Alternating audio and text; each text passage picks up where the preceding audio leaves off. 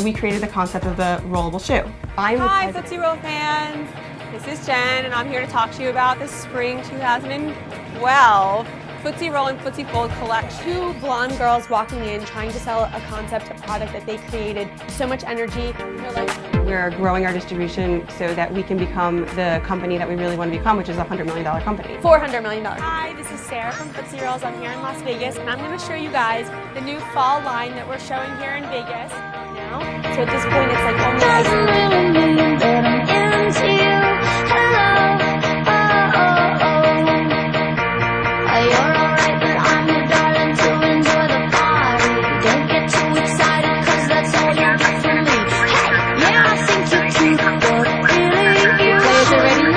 The magic begin.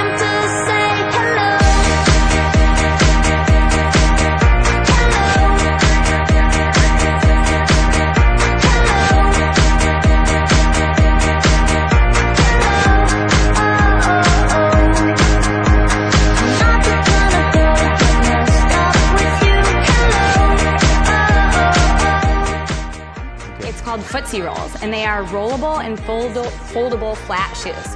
So it's perfect.